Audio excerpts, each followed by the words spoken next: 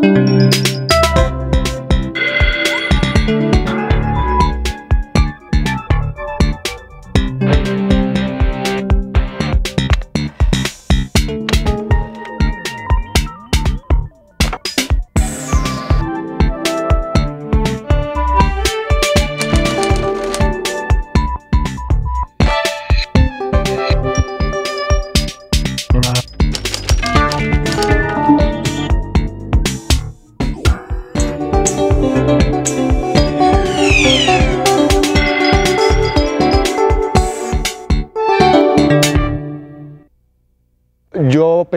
pensaba de niño que cuando yo fuera grande iba a ser piloto de, de- de aviones, pues. Yo quería volar. pues. Bruno Bert nos dijo una frase que se conecta con, con lo que yo quería hacer cuando era niño.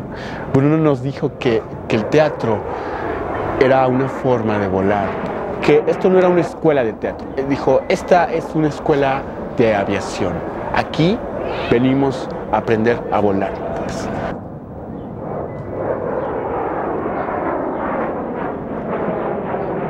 Desde su infancia, Agustín Mesa soñaba con volar. Ser piloto aviador parecía la mejor manera de alcanzar el cielo. Con el tiempo encontró como pista de aterrizaje el escenario. La actuación fue para él el punto de partida. Escribir teatro y dirigir sus propias obras fueron sus siguientes pasos.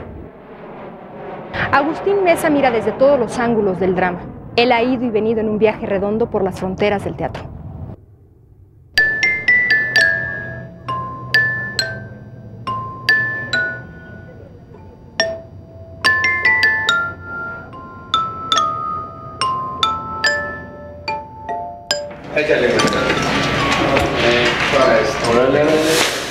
Está lo mínimo. ¿Estamos listos? Por medio de ustedes, hablar con el jefe. Sí, ahorita, ahorita.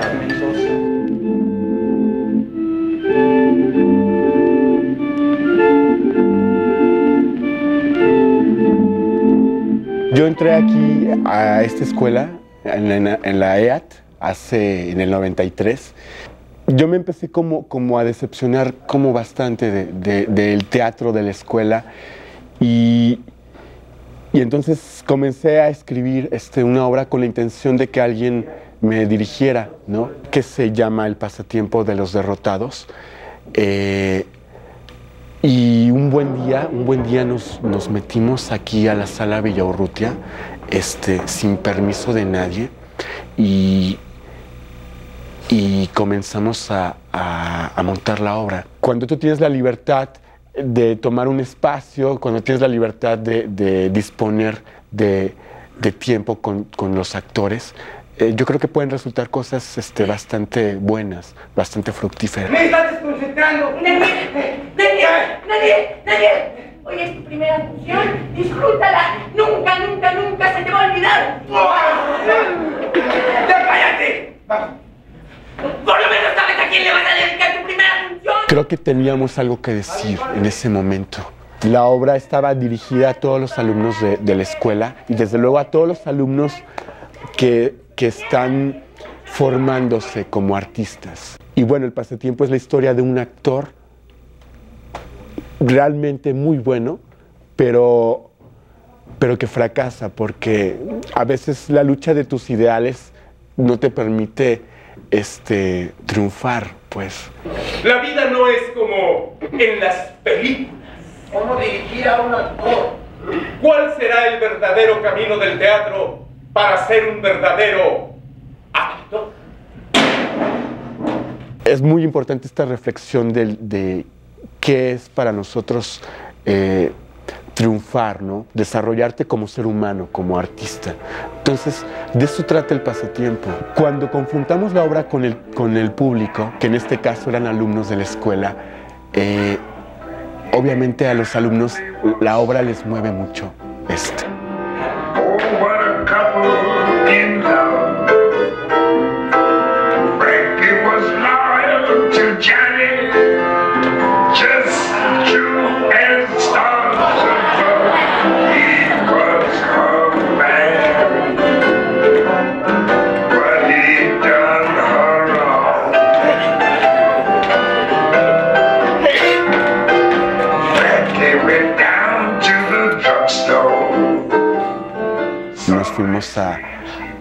Un festival aquí en México que organiza la UNAM, que organiza el IMBA, que organiza muchas instituciones, que es el Festival de Teatro Universitario. Y dimos una función en la INE Paragón y ganamos ese festival. Y de pronto este, llegó una invitación de Seúl, de Corea, a un festival internacional. Nosotros nunca habíamos salido afuera con, una obra de teatro y creo que fue, creo que esa función en Corea la que, con la que el proyecto se realizó, pues fue como la función. Fue muy especial esa función. Y yo quise en la obra este, montar, montar las escenas de una manera en que fueran lo más atractivas para el público y también para nosotros. Rotemos, soñemos, amémonos. No esperemos que las estrellas vengan a nosotros. Al fin y al cabo, el sol no derretirá nuestras alas esta noche. Arranquemos las manecillas de los relojes con un pedazo de algodón.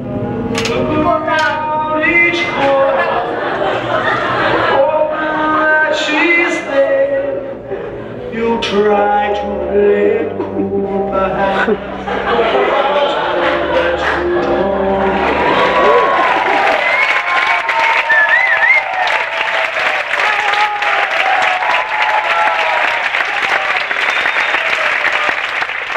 Cuando veo al público y que agradece el trabajo realmente, digo, ahí está el sacrificio, pues. O sea, uno viene al mundo a servir, ¿no?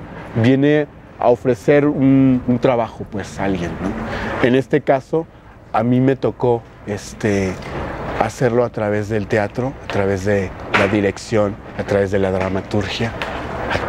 Yo sí creo que, que, que el público pueda este, salir, pues no cambiado de una función con otra visión del mundo, pero sí, sí con los pies en la tierra, ¿no? Sí, sí tiene una función importante. Yo creo que todos en algún momento de nuestra vida tenemos que, sacrificar ciertas cosas, ¿no? Y como dice Tarkovsky, todo sacrificio implica un regalo, ¿no? pero si no fuera por el FONCA no hubiera sido posible. Entonces yo creo que es bien importante.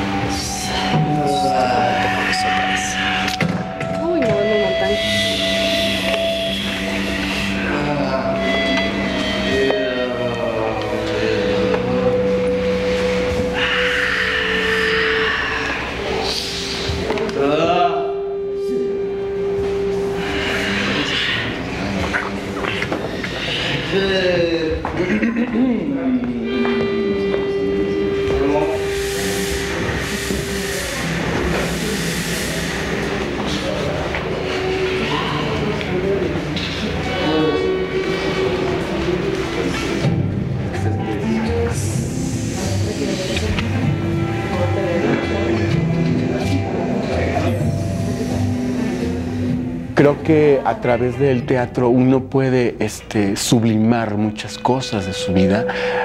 Ahora sí que el teatro me ha ahorrado muchos psicólogos. Tampoco es una terapia, pues, pero uno puede sanar muchas cosas, uno puede superar muchas cosas a partir de- de- del acto creativo. Todo es ambiguo, complejo y relativo. De alguna manera, somos producto de la contingencia del universo. Agustín Mesa dirigió y escribió Fe de Ratas, una obra que propone una particular visión de la peripecia humana.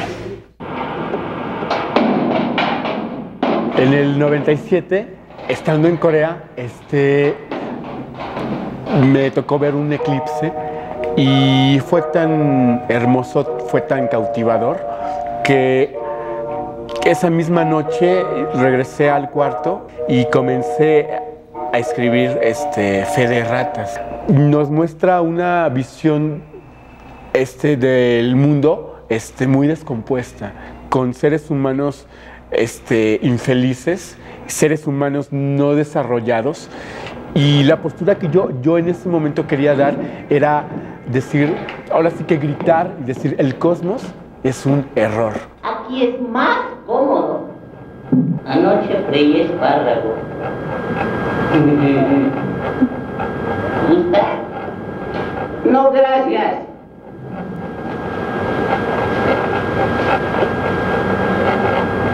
¿Seguro no gusta? No. ¿Por qué?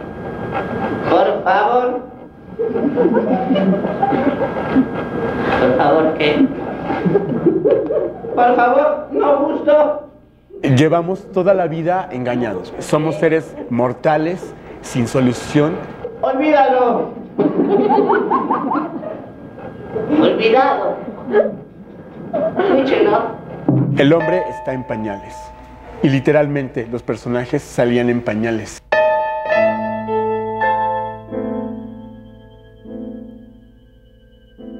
Para mí el tema de lo femenino en Fe de Ratas será muy importante, pues.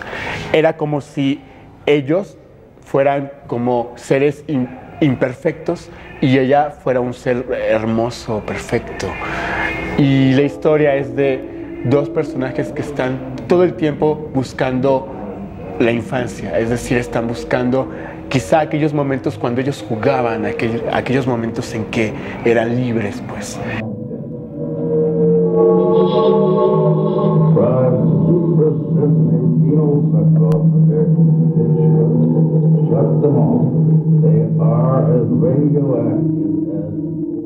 Durante el proceso yo les pedía este, improvisaciones, les pedía muchísima exploración para crear personajes.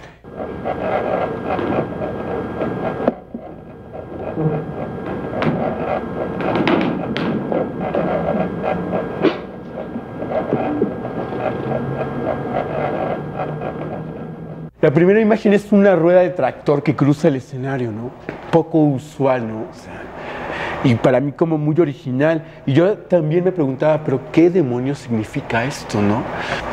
Entonces, es el paso de la humanidad a través del tiempo, esta rueda, que ha rodado mucho y ha encontrado pocas cosas, y al final viene, pero en agonía esa llanta hasta que cae.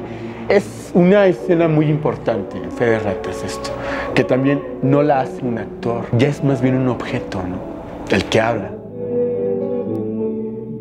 Cada uno va encontrando su forma de trabajo, va encontrando su técnica, va encontrando su forma de hacer las cosas, ¿no? Y yo veo que mis montajes, más que nada, han sido este, como, como mis- mi, mi gran escuela de formación como director. Realmente ha sido sobre la práctica. En 1999, Fede Ratas viaja a Sibiu, Rumanía. Llegamos a Bucarest y de Bucarest teníamos que tomar un transporte a Sibiu. Y llegamos a un como jacalito, un restaurancito en la carretera. Eran, pues yo creo que ya a las 4 de la mañana, no sé. Y cuando regresamos a, la camioneta, estábamos en el campo, pues, y había, había un- un- una imagen que, que- que jamás se me va a borrar de la mente. Era, era este, un paisaje con mucha niebla. Había un- una persona en el suelo, no sé, estaba tirada. Yo jamás sabré si realmente estaba dormida o estaba muerta. Y atrás de él había, había un árbol. Y atrás del árbol había un avión de la Segunda Guerra Mundial. Era una imagen muy este, surrealista, pues un avión a la mitad de la carretera. Y atrás del avión había una luna enorme. Eh, Y yo le dije a mi, a mi grupo, pues, le dije, miren, esa es una imagen muy teatral es una imagen con la cual podríamos empezar a una obra de teatro. Este sí, pero esto no se nota nada. No, ese no se nota. Nada. Queda muy bien. Pero yo en ese momento no relacioné la imagen con ninguna obra ni, ni nada, únicamente era una imagen muy bella, muy teatral. Y la, la impresión fue cuando abrí el texto y encontré una imagen análoga, camino en el campo con árbol, anochecer. Y dice, eh, estragón sentado en el piso. Está eh, la persona, está el árbol, está el ambiente, pues me, me conectó pues con, con la obra, con esa imagen y supe que había que montar esta obra.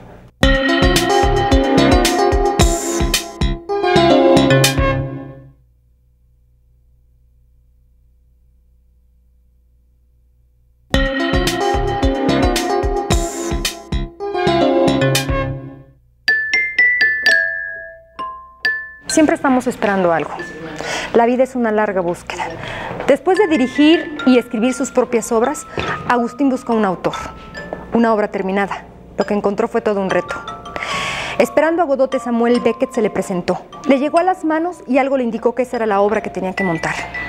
Agustín nos comparte esa búsqueda y espera, mismas con las que encontró a Beckett, aunque sigue esperando a Godot. Mira, yo creo que, que cuando tú decides montar una obra, cuando la escoges o cuando la obra te escoge, tiene que referirse mucho con tu eh, experiencia, con lo que vives en ese momento de tu vida, con lo que te está pasando, ¿no?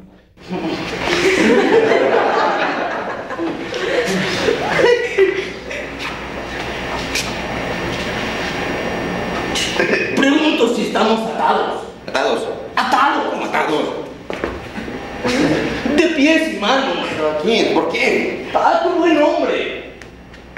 Cuando yo estaba empezando a montar la obra y estaba investigando y leyendo sobre Beckett y sobre la obra, hubo, hubo una noche en la que estaba yo, yo soñando pesadillas, igual que Gogo, uno de los personajes, Estragón.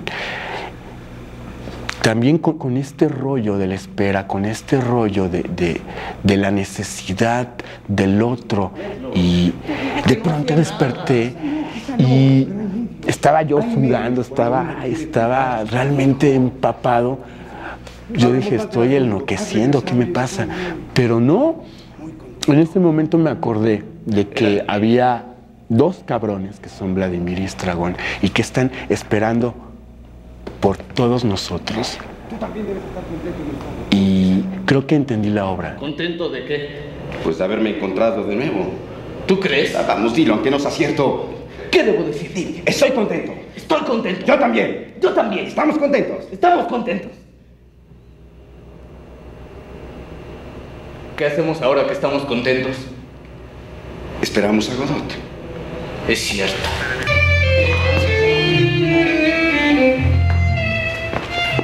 Hay una espera detrás de, todo esto. Hay una empatía con lo, con lo que vive Vladimir y Estragón. Son, a fin de cuentas, Vladimir y Estragón son este, prototipos del ser humano. Son vagabundos de todo el mundo. Es decir, es como Beckett ve al hombre. Ellos son la humanidad entera y de hecho en la obra lo dicen. Esos gritos de auxilio se dirigían a toda la humanidad, pero en este momento toda la humanidad somos nosotros, así dicen ellos. Entonces, por supuesto, la gente que, que- lee esta obra o que ve la obra se identifica con Vladimir y con Estragón. A fin de cuentas, ellos están allí esperando por nosotros. No temas. Me caí. Ya pasó, ya pasó. Estaba solo. No digas nada. Ven, ven, ven. Caminemos el Vamos, caminemos un poco.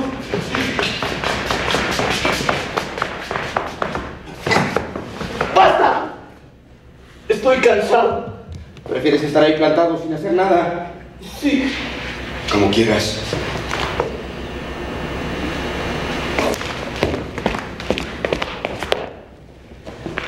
Vayámonos. No podemos. ¿Por qué? Esperamos a Godot. Es cierto. Yo cuando supe que, que él quería que Chaplin y Buster Keaton fueran estos dos este, personajes, este, y que no pudieron porque estaban rodando Candilejas en 1952. Este, se toca la canción, se toca Candilejas aquí, como para decirle, maestro, maestro, este, no estuvieron, pero mira, aquí están.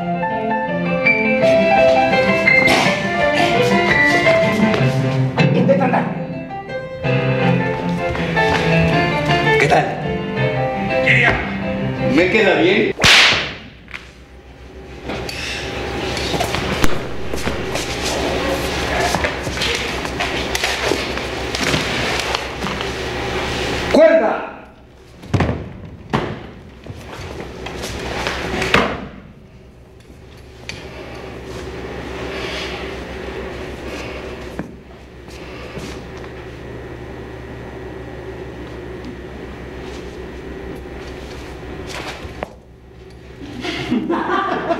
Estaba en, mi cuarto, pues, y de pronto llegó una imagen en la que yo estaba en CNA, hay una azotea en la escuela de teatro. Y yo no sé por qué carajos mm, veía que yo estaba ahí viendo, viendo la ciudad y de pronto sentí acá, eh, de este lado, del lado izquierdo, sentí una mano. y, volteaba y estaba el maestro, estaba Samuel, estaba Samuel Beckett allí. Y fíjate que olía igual que, que mi abuelito, pues. Era como un olor de anciano, pues, pero limpio. Tenía unas alas blancas, este. Él me sonrió y. Y este. Y me decía que. que shut ¿no? Silencio. Y me acuerdo que me decía, vuelve a ver el paisaje. Y cuando regresaba a ver el paisaje, el- no, no estaba la ciudad. No, no, no había nada, pues había, había un paisaje, lo que te digo, había un paisaje este, precioso, un atardecer precioso. Fue un momento muy fugaz ese, de pronto él desapareció, él voló pues, y yo regresé y dije, a ver, espérate, espérate, ¿qué pasa? ¿Qué pasa?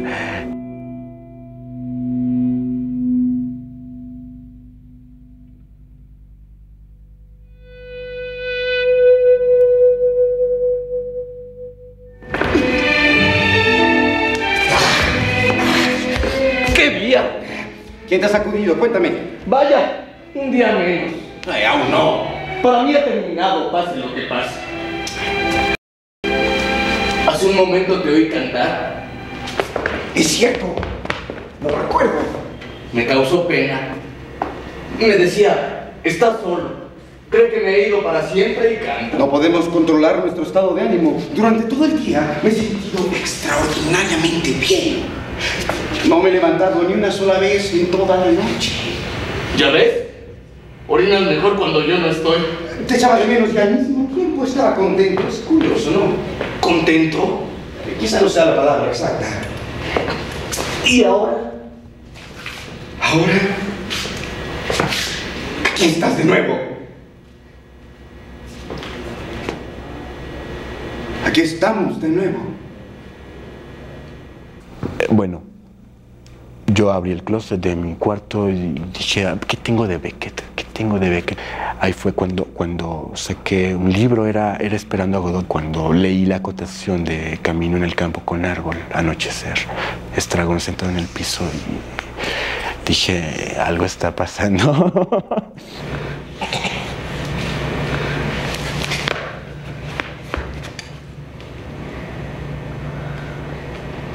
¿Tú crees que Dios me mire?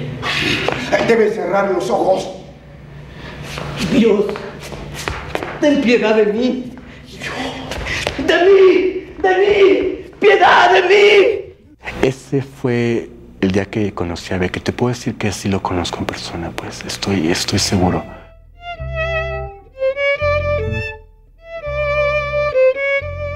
Por eso está su silla, pues, este. Y, y por eso creo que nos ha ido bastante bien con esta obra, ¿eh? con esta obra. Así, así es la historia. Música